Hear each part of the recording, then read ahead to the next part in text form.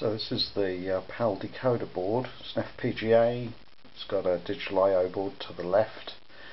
FPGA board which is the DE0 Nanos in the middle and a, a video, dual video card. Two channels of uh, video in, two channels of video out.